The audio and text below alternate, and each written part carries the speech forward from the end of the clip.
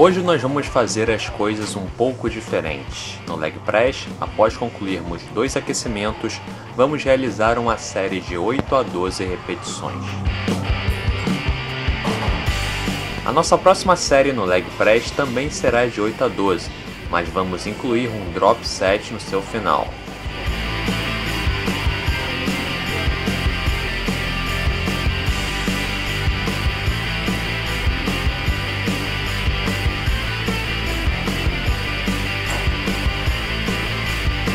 Por último, faremos mais uma série, e dessa vez com um duplo drop set.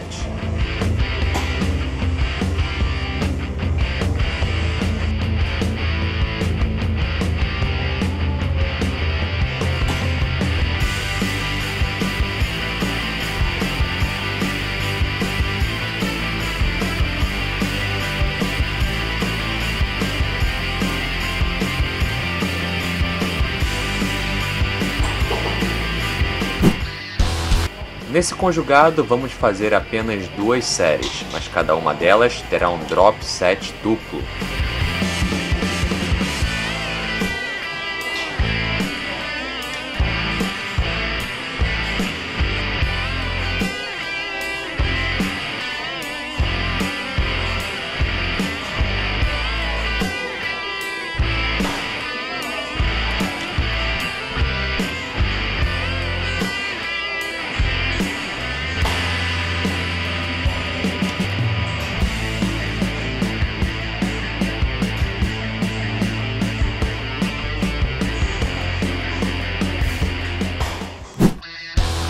Finalizando com mais um conjugado, faremos três séries com altas repetições e ambas com drop set.